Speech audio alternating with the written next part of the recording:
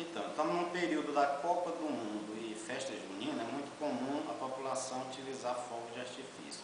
O Corpo de Bombeiro recomenda que na compra desse material, o usuário observe a questão da validade, porque já teve acidentes com fogo de artifício em que traz prejuízo à pessoa que vai utilizar.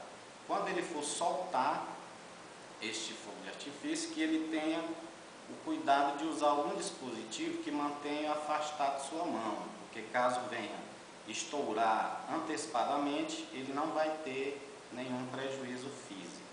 Quanto à questão do local que vai ser soltado este, este fogo de artifício, a gente recomenda que não solte entre as casas, entre as edificações, nem na direção de terrenos com vegetação seca, que vai causar incêndios e aí a proporção a gente, ele não vai ter como controlar.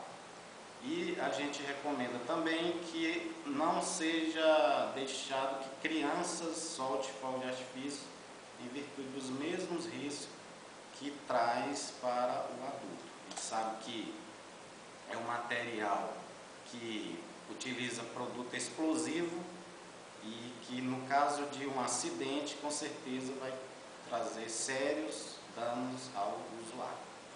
No caso seja registrado algum acidente, que medida a população deve tomar?